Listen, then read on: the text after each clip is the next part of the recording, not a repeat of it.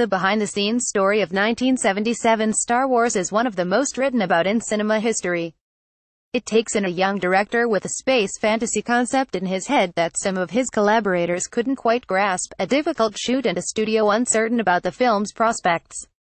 And then there was its fraught editing process, in which the film was stripped back down and built back up again following a lukewarm reception to its pedestrian rough cut. This latter stage in Star Wars making was recently covered in this superb YouTube video, which explores how George Lucas's then-wife Marcia, already an Oscar-winning editor, set about reworking the film's plot in the editing room. Marcia Lucas and co-editors Richard Chew and Paul Hirsch worked frantically yet ingeniously, paring back scenes that bogged down the story and generally tightening up the pace and flow. As Rocket Jump's video itself points out, Star Wars was a film saved, to a certain extent, in its edit. George may have had a head of romantic ideas and exotic spaceships, but it was through its editing that his saga found clarity and purpose. One of the editor's biggest contributions came in the third act. As originally conceived by Lucas, the film would have ended with the rebels daring raid on the Death Star. What the editors came up with though, was the addition of a ticking clock, rather than simply hanging in space like a big, vulnerable bubble. The Death Star is on the cusp of firing its weapons on Yavin IV, the side of the rebels' base.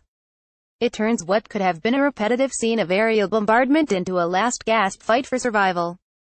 Nearly 40 years later, Star Wars prequel Rogue One went through a difficult production of its own. After the initial shoot headed up by director Gareth Edwards, writer-director Tony Gilroy was brought in to rewrite the script and oversee the reshoots. Evidence of how late these changes were in production can be seen in Rogue One's trailers. Numerous scenes in the promos were no longer present by the time the final cut appeared in cinemas. Toys based on the likeness of Felicity Jones' heroine Jyn Erso appeared in the shops with the name Sergeant Erso emblazoned on them, suggesting the character had a more overt military background than the abandoned insurgent introduced in the finished film. While reworking a so extensively right through post-production can be of pitfalls, as something like Justice League proved, Rogue One worked remained remarkably coherent, a lean, downbeat story about the theft of the Death Star's plans. Making Rogue One may have been difficult, but it appears, at least from the outside, as though everyone involved pulled together to make the prequel work as well as it could. Once again, editing proved to be Star Wars' secret weapon, particularly, for this writer, in the sequences involving the Death Star and its destructive power. Most people who went to see Rogue One in 2016 would have done so with an eye on the past. They already know that the rebels managed to pilfer the plans to the Empire's battle station, and they're well aware of the fate awaiting both the Death Star and the villain who provides over it, Grand Moff Tarkin. What Rogue One does, however, is not only flesh out a one-line bit of Star Wars lore and a larger story, but also help turn the Death Star into a far more menacing entity than it was in 1977.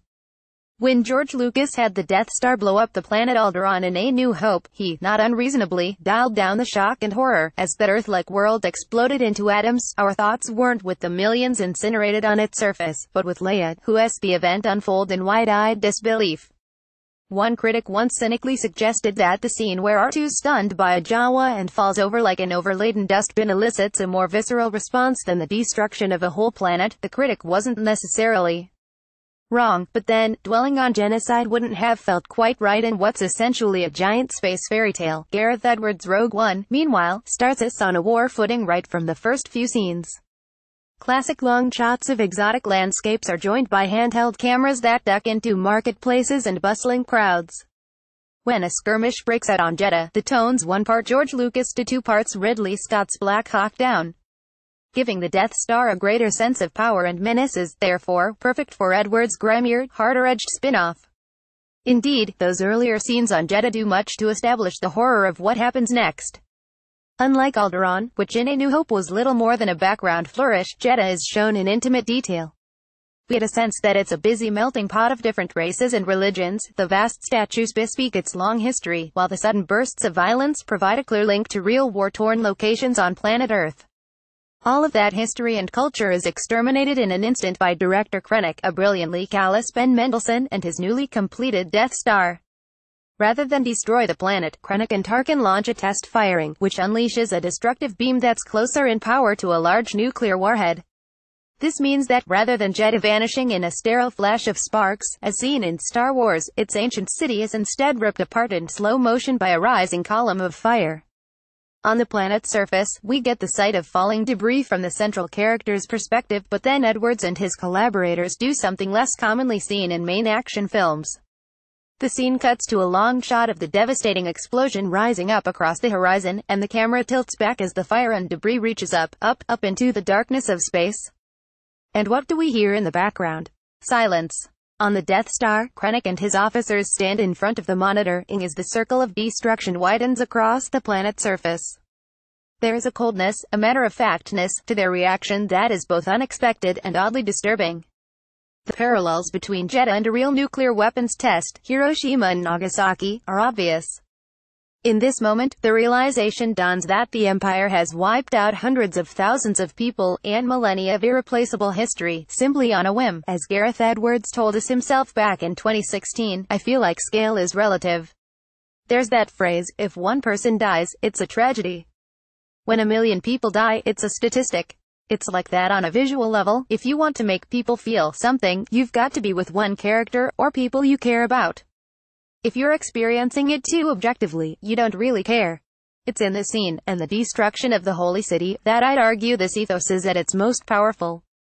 Through the cutting between ground-level intimacy and long shots, deafening noise and almost complete silence, all capped off by that stunning tilt of the camera, that drives home the Death Star's dreadful power. It's a valuable sequence dramatically, too, since it establishes how dangerous the Empire's weapon is. We get the payoff in the third act, as the battle station's I like bulk looms over Scarif. We pretty much know that, from that point on, anyone on the planet's surface is doomed. To see just how differently a similar event can be handled by another filmmaker, it's worth revisiting the Starkiller firing sequence in J.J. Abrams' The Force Awakens. In many respects, there's nothing at all wrong with it. The Starkiller base looses off its beams of red-hot death, which slice through the Hosnian Prime system, wiping out a bunch of planets all at once. In theory, this should be a much more horrifying sequence than the Jedha scene in Rogue One, given the sheer scale of the destruction. And yet the sensation evoked by these exploding planets is closer to A New Hope. We get a couple of brief shots of horrified faces on one of the planets, then a cut to an effects shot of an explosion in space, accompanied by John Williams' rising score. It looks good, it's good, but it's the cinematic equivalent of a statistic rather than a tragedy. The collaborative, complex nature of blockbuster filmmaking, especially on something as big as Star Wars, means it's difficult to say who we have to thank for that moment in Rogue One. It's possible that Edwards himself called the shots from beginning to end, arguing for the lack of the precise framing of the long shot of debris reaching into space, and so on. Or, equally if not more likely, it was a whole bunch of people all pitching in ideas to create a singular moment. For some, the Death Star test above Jedha is just another sequence to munch their popcorn to, and that's fine. One of the things that's good about Star Wars S is that they're so accessible for viewers of just about any age or cinematic persuasion. But for this writer, there's something quite ingenious about the technical precision at work here.